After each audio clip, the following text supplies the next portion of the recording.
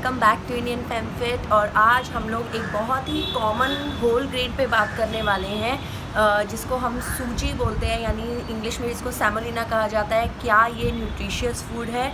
तो अगर हम बात करेंगे सूजी के गोलगप्पों की तो ऑब्वियसली वो न्यूट्रिशियस नहीं है। और ये मैं सिर्फ़ इसलिए नहीं बोल रही हूँ क्योंकि वो फ्राइड फ़ूड है। इनफैक्ट सूजी, यानी जिसको इंग्लिश में सैमोलिना कहते हैं, वो मैदा का ही ग्रैनुलर फॉर्म है।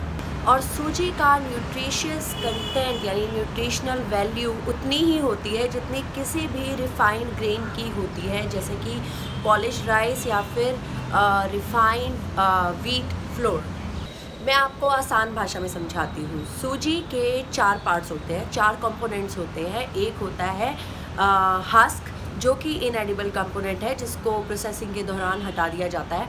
सेकंड है आउटर ब्रांड जो इसका फाइबर कंटेंट होता है, वो आउटर ब्रांड में होता है। थर्ड कंटेंट है एंडोस्पर्म जिसमें स्टार्च भरा हुआ होता है, जो स्टार्च रिच पार्ट होता है, जिससे हमें कॉम्प्लेक्स काव्स या एनर्जी मिलती है। और फोर्थ पार्ट होता है जर्म जो इसका न्यूट्रिशनल पार्ट होता है।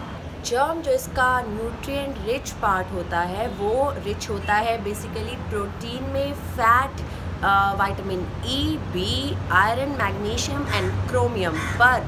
ग्रेन को पीसने के टाइम पे इसका जो जर्म पार्ट है, वो ख़त्म हो जाता है। तो बेसिकली बचता क्या है? एंडोस्पर्म एंडोस्पर्म जो स्टार्च रिच पार्ट है सिर्फ़ वो बच जाता है एंटायर ग्रेन में।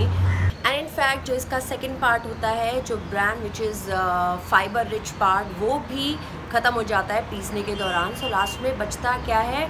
वो जो बचता है पार्ट वो है एंडोस्पर्म जो स्टार्च से भरा हुआ है और इस ब्रोकन होल ग्रेन को हम बोलते हैं सूजी। अगर इसको और पीसा जाता है तो वो बिकल दैट बिकम्स मैदा, यानी कि वाइट फ्लोर तो अब आप खुद ये अंदाज़ा लगा सकते हैं कि सूजी न्यूट्रिशियस फ़ूड है या नहीं, जिसमें out of fibre and out of nutrient part क्या बचता है? सिर्फ़ starch do comment in the comment box and let me know how did you like this video and uh, I will come back with more interesting topics follow me on Instagram and Facebook Indian Femfit के pages हैं और अगर अभी तक आपने subscribe नहीं किया है तो subscribe to Indian Femfit and press the bell icon I'll be back next time with more interesting videos more interesting topics till then